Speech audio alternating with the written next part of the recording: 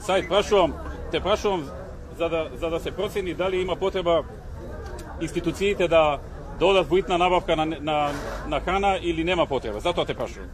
За да на време ја фатат работата, ако ако не можете да покриете за многу долго време, односно за барем за наредните 2-3 дена да да почнат да ги почнат сите постапки институции. Имаме значи 2000 пакети плюс, можеме да се напакиме да ги донесеме. Тоа се 2000 2000 пакети плюс. После тоа немате, така? После тоа значи имаме тези набави може нема, сега се го планираме ги даваме. Момент само мац. Момент само мац. Нино, колку во население е зафатено? Што ќе му треба кам? 40% од, газибавата ќе му дојде Значи, најкритично дека стајковци Они имаат 2000 пакети и се надеваат дека после ќе ќе доаѓа помош.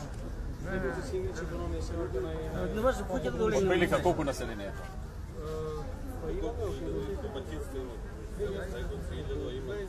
Оние што ќе биде најнапон 5000 сигурно ќе биде. 5000, они имаат само 2000 пакети. 5000 Да, сај слушаме.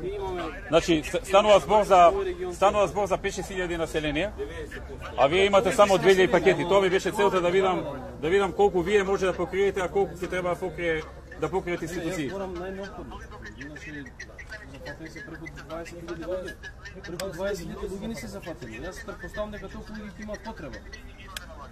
Сега ми кажуваат слушам дека преку 20.000 луѓе се зафатени. Токму така, ама јас претпоставам дека во прва фаза околу 50.000 биле тие што го барат, што треба, најкритично, најкритично. Кој што имаат уште вода, Вас што некаде веќе се расчистува, а? доле премиерот дојде. Расчистува. Во ете тоа, ама од еден пакет колку луѓе може да да се хранат и колку време? За еден ден, за еден оброк како е? Па тоа за значи за еден за еден ден четворица луѓе. Четворица. За еден ден четворица луѓе е со еден пакет, така?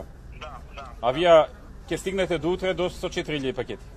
Ќе стигнеме, значи утре залата ќе испрачаме четири. Мислам дека ова Емил дека треба повторно да се соберете на влада. А, ми, ми личи дека ќе има недостаток на храна. 4000 пакети се надева дека ќе има. А, тоа е за, за едно 4 члено семејство за, за еден ден.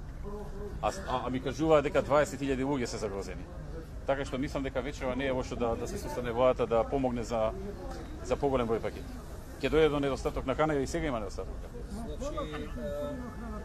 Значи, ние на влада заклучивме да направиме листа на сите потребни артикли во Кога?